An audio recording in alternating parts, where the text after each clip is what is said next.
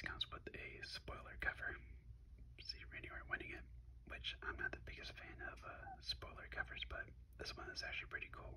It has a blue and orange color scheme, so actually I like it. So yeah, let's dive right into this review. Alright, so as you might notice, there is no match listing, unfortunately. Um, they just show these pictures here. Um, and there's actually three matches not like listed on the back cover here. And those matches were Cody Rhodes versus Damien Sandow, which it was alright, not the best match. Um, Brie Bella versus versus Natalya, which was a really bad match. That match was awful. And the other match was Dolph Ziggler and Kaitlyn versus Becky Langston and AJ Lee, which was actually pretty good. I actually enjoyed it.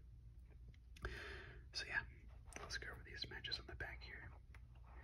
So starting off, we had uh, the kickoff match, which was for the United States Championship.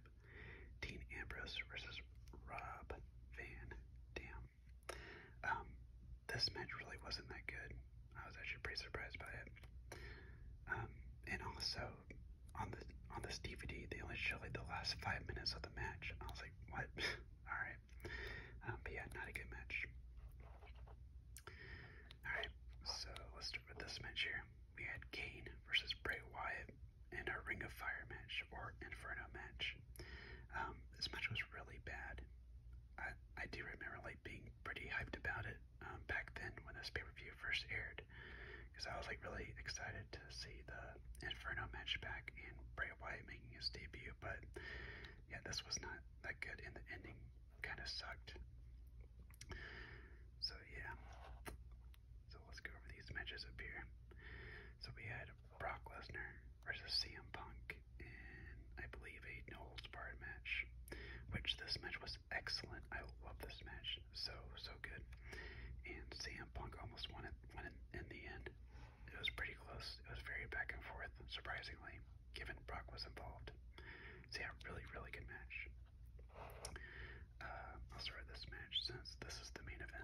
Uh, we also had Christian versus Alberto Del Rio for the World Heavyweight Championship. Uh, this was actually surprisingly really good. I was impressed because normally I'm not a big fan of uh, Alberto Del Rio. Um, but yeah, he really impressed me. He and Christian they had some really good in-ring chemistry. So yeah, very underrated that matches. And in the main event, we had John Cena versus Daniel Bryan for the WWE Championship with Triple H as special guest referee. Uh, fantastic. This was a very, very good match, very back and forth.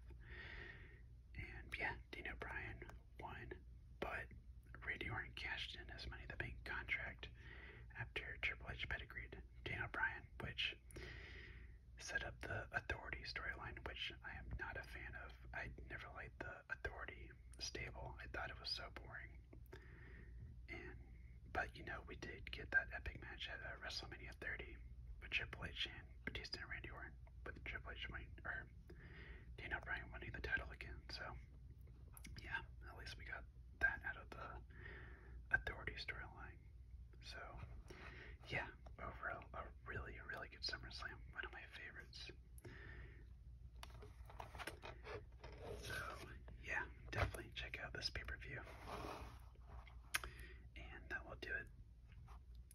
as always, I hope you guys enjoyed. And let me know in the comments what pay per view you want me to review next. Sleep well, everyone.